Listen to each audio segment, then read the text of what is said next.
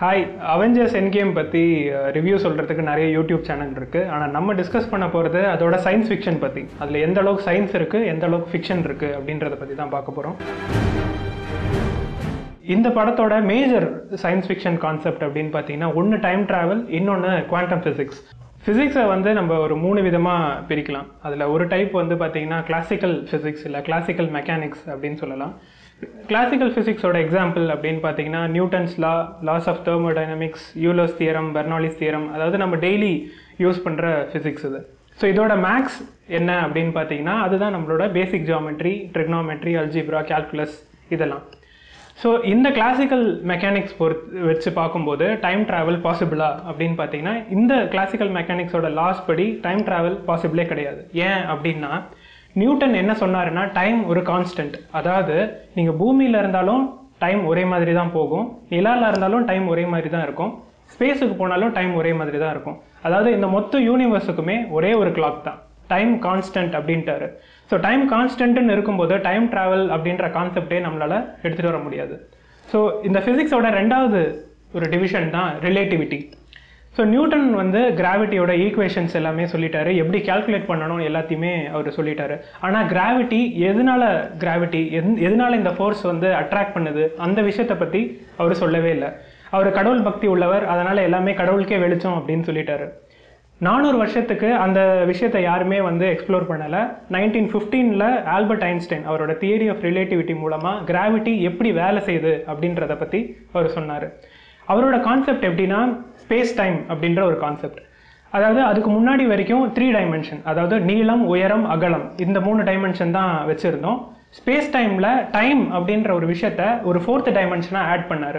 So அதுதான் space time so space டைமை பாதிக்கிற ஒரு விஷயம் என்னது அப்படின்னு பார்த்தீங்கன்னா ஒரு மாஸான ஒரு ஆப்ஜெக்ட் ஹை எனர்ஜி இருக்கிற ஒரு ஆப்ஜெக்ட் ஒரு எக்ஸாம்பிள் எடுத்துக்கிட்டிங்கன்னா சூரியன்.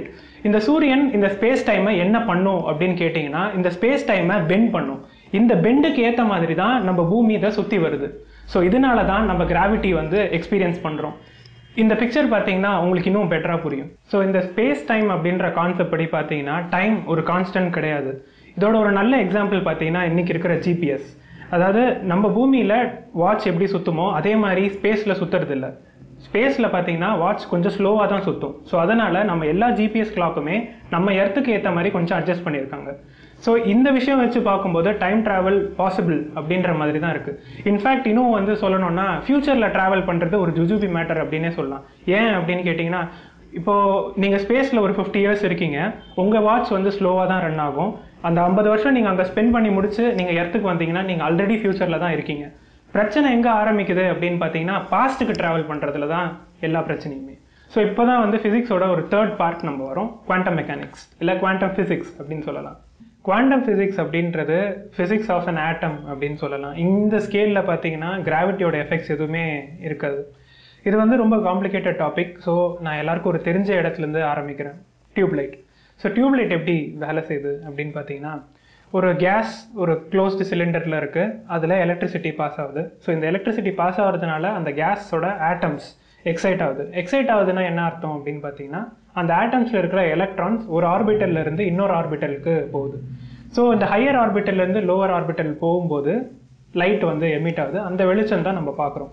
இதெல்லாமே ஓகே இந்த எலக்ட்ரான் ஒரு ஆர்பிட்டல்லேருந்து இன்னொரு ஆர்பிட்டல் எப்படி ஜொயிங்க்னு போகுது? யாருக்குமே தெரியாது. ஒரு ஆர்பிட்டலில் எலக்ட்ரான் இங்கே தான் இருக்கும் அப்படின்றத யாராலையுமே சொல்ல முடியாது. ஸோ இதனால என்ன ஆகுதுன்னா குவாண்டம் மெக்கானிக்ஸ் பொறுத்த வரைக்கும் எல்லாமே ஒரு ப்ராபபிலிட்டி தான். ஸோ இந்த ப்ராபபிலிட்டி தான் மல்டிபிள் யூனிவர்ஸ் கான்செப்டை எடுத்துகிட்டு வந்திருக்கு. இன்னொரு ஒரு எக்ஸ்பெரிமெண்ட் பார்த்தீங்கன்னா டபுள் ஸ்லிட் எக்ஸ்பெரிமெண்ட் இது வந்து நம்ம டுவெல்த் ஃபிசிக்ஸ் லேபில் எல்லாருமே இந்த எக்ஸ்பெரிமெண்ட் பண்ணியிருப்போம். இது ரொம்ப சிம்பிளான ஒரு எக்ஸ்பெரிமெண்ட் தான். ஜஸ்ட் ஒரு லைட் சோர்ஸ் இருக்கும் அதுக்கு நடுவில் ஒரு டபுள் ஸ்லிட் அண்ட் அதுக்கு பின்னாடி வந்து ஒரு போர்டு இருக்கும். இப்போ நான் லைட்டை ஆன் பண்ணுறேன்னு வச்சுக்கோங்க. அப்போது அந்த போர்டில் எப்படி வெளிச்சம் வரும்? அந்த ரெண்டு ஓட்டை இருக்கிற இடத்துல. அதுதானே? அதுதான் கிடையாது.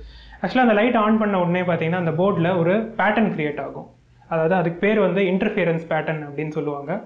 இது வந்து எதனால கிரியேட் ஆகுது அப்படின்னு பார்த்தீங்கன்னா லைட் வந்து வேவ்ஸ் மாதிரி பிஹேவ் பண்ணுறதுனால தான் இந்த மாதிரி நடக்குது. ஸோ இப்போ என்னென்னா நான் அந்த லைட் சோர்ஸை தூக்கிட்டு அதுக்கு பதிலாக ஒரு எலக்ட்ரான் கன் அங்கே வைக்கிறேன். இது வந்து என்ன பண்ணுன்னா ஒரு நிமிஷத்துக்கு ஒரு எலக்ட்ரான் மட்டும்தான் ஃபயர் பண்ணும். ஸோ அப்படி வைக்கும்போது கண்டிப்பாக எலக்ட்ரான் இந்த ரெண்டு ஸ்லிட்டில் ஏதாவது ஒரு ஸ்லிட் வழியாக தான் கண்டிப்பாக போய் ஆகணும். ஸோ இப்போது என்ன பேட்டர்ன் வரும்னு நீங்கள் எதிர்பார்க்குறீங்க? கண்டிப்பாக அந்த ரெண்டு ஓட்டை இருக்கிற இடத்துல தான் இந்த கரெக்டாக அந்த இடத்துல மட்டும்தான் அந்த பேட்டர்ன் வரும்னு எதிர்பார்ப்போம். ஆனால் இந்த எக்ஸ்பெரிமெண்ட் அப்போவுமே அந்த இன்டர்ஃபியரன்ஸ் பேட்டர்ன் வருது. ஸோ இதை இன்னும் நம்ம வந்து டீப்பாக யோசித்து பார்க்கும்போது ஒரு எலக்ட்ரான் எப்படி ட்ராவல் ஆகுது அப்படின்னு பார்த்தீங்கன்னா எந்த ஸ்லிட் வழியாக போகுது அப்படின்றத யாராலையுமே சொல்ல முடியாது. ஸோ இன்னும் டீப்பராக போய் பார்த்தீங்கன்னா ஒரே டைமில் ரெண்டு எலக்ட்ரான் ரெண்டு ஸ்லிட் வழியாகவுமே போகுது அப்படின்றது தான் இந்த குவாண்டம் மெக்கானிக்ஸ் சொல்லுது. கடைசியில் போர்டில் வந்து போய் கிராஷ் ஆகும்போது ஒன்றா மாதிரி ஏதோ ஒரு லொக்கேஷனில் போய் அது கிராஷ் ஆகுது. ஸோ இதுக்கும் டைம் ட்ராவலுக்கும் என்ன சம்மந்தம் அப்படின்னு பார்த்தீங்கன்னா நீங்கள் டைம் ட்ராவல் பண்ணி பாஸ்ட்டுக்கு போகும்போது அப்போது ஒரே நேரத்தில் ரெண்டு பேர் இருப்பீங்க. ஒன்று நீங்கள் இன்னொன்று ப்ரெசன்ட் டைமில் இருக்கிற நீங்கள் ஸோ இது வந்து ரியாலிட்டியில் இது கேட்குறதுக்கு வந்து லூஸ் தரமாக இருந்தாலுமே குவாண்டம் லெவலில் இது ஒரு சராசரியான ஒரு நிகழ்வு தான். ஸோ அவெஞ்சர்ஸ் என் கேமில் பார்த்தீங்கன்னா நிறைய சயின்டிஃபிக் கான்செப்ட் வந்து அதில் சொல்லியிருப்பாங்க. அதில் ரொம்ப இம்பார்ட்டண்டான ஒரு கான்செப்ட் அப்படின்னு பார்த்தீங்கன்னா டோனி ஸ்டார்க்கோட டைம் ட்ராவலோட மாடல் அதாவது மோபியஸ் ட்ரிப் இதை பற்றி நான் எக்ஸ்பிளைன் பண்ணுறத விட உங்களுக்கு செஞ்சு காமிச்சா இன்னும் பெட்டராக புரியும். ஸோ அவெஞ்சர்ஸ் என் கேமோட டைம் லைனை நம்ம இந்த ஸ்ட்ரிப் மூலமாக ரெப்ரசென்ட் பண்ணுறோம் அப்படின்னு இமேஜின் பண்ணிக்கோங்க. ஸோ இதுதான் படத்தோட ஸ்டார்டிங் பாயிண்ட் அண்ட் இதுதான் படத்தோட எண்டிங் பாயிண்ட் ஸோ இந்த அவெஞ்சர்ஸ் என் கேமில் என்ன நடக்குது அப்படின்னு பார்த்தீங்கன்னா ப்ரெசென்ட்டில் இருக்கிறவங்க பாஸ்ட்டுக்கு போகிறாங்க தேனோஸ் பண்ண விஷயத்த அண்டூ பண்ணுறதுக்காக ஸோ இது பார்த்தீங்கன்னா ஒரு சர்க்குலர் லூப் வந்து கிரியேட் பண்ணுது. ஆனால் இந்த லூப்பில் இருக்கிற பிரச்சனை என்ன அப்படின்னு பார்த்தீங்கன்னா பாஸ்ட்டில் ஒரு விஷயத்த மாற்றும் போது இது ஒரு அல்டர்னேட்டிவ் டைம் லைனை கிரியேட் பண்ணும். இதை எப்படி நம்ம இந்த ஸ்ட்ரிப்பில் எக்ஸ்பிளைன் பண்ண முடியும் அப்படின்னு பார்த்தீங்கன்னா வந்து இந்த ஸ்ட்ரிப்பில் ஒரு ஹோல் கிரியேட் பண்ணுறேன் ஸோ இந்த டைம் லைன் என்ன ஆகும்னா இந்த ஸ்ட்ரிப்பை அதாவது ஒரு டைம் லைனாக இருக்கிறது ரெண்டு டைம் லைனாக மாறும். ஸோ இதை நான் இப்படியே இந்த சர்க்குலர் மேனரில் இதை கட் பண்ணிகிட்டே போனேன்னா என்ன வரும்? ஸோ இந்த சர்க்குலர் மாடலை கட் பண்ணிட்டு வந்தோன்னா இந்த மாதிரி ரெண்டு சர்க்கிள் வரும். இதுக்கு என்ன அர்த்தம்னா ஸோ ரெண்டு டைம் லைன் இருக்குது அப்படின்றது தான் அர்த்தம். இந்த விஷயத்தை தான் ஏன்ஷியன்ட் ஒன் நம்ம ஹல்க் கிட்ட எக்ஸ்பிளைன் பண்ணுவார். நீங்கள் பாஸ்டில் ஒரு விஷயத்தை மாற்றினீங்கன்னா அது இன்னொரு அல்டர்னேட்டிவ் டைம் லைன் கிரியேட் பண்ணும். இதை எப்படி உங்கள் சயின்ஸ் தடுத்து நிறுத்தும் அப்படின்ற கேள்வி தான் இதுக்கு மார்க் ரஃபல்லோட பதிலும் அதாவது நம்ம டோனி ஸ்டார்க்கோட மாடலும் ரெண்டுமே ஒரே ஒரு விஷயம்தான். ஸோ இதில் தான் மோபியஸ் ஸ்ட்ரிப் அப்படின்ற கான்செப்ட் வந்து வருது. ஸோ இப்போ நம்ம என்ன பண்ணோம்னா இப்படி கனெக்ட் பண்ணோம். அதுக்கு பதிலாக நம்ம என்ன பண்ண போகிறோம்னா ஜஸ்ட் ஒரு சின்ன ட்விஸ்ட் அண்ட் இப்படி கனெக்ட் பண்ண போகிறோம் ஸோ இப்படி கனெக்ட் பண்ணும்போது சேம் இதுக்கு முன்னாடி பண்ண அதே மேட்டர் இதில் பண்ணும்போது என்ன வருது அப்படின்றத பார்க்கலாம். ஸோ இந்த மோபியஸ் ஸ்ட்ரிப்பில் பாஸ்ட்டில் ஒரு சேஞ்ச் வர்றதுனால ரெண்டு அல்டர்னேட்டிவ் டைம்லைன் கிரியேட் ஆகும். ஸோ அது ஆனால் டைம்லைன் க்ரியேட் ஆனதுக்கப்புறம் அது எப்படி இருக்கும் அப்படின்றத பற்றி நம்ம பார்ப்போம். இப்போ ஃபார் எக்ஸாம்பிள் நான் வந்து இதில் ஹோல் க்ரியேட் பண்ண போகிறேன்